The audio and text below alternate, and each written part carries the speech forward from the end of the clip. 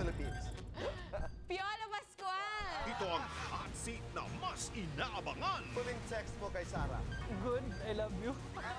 Tonight's with Boy Abunda.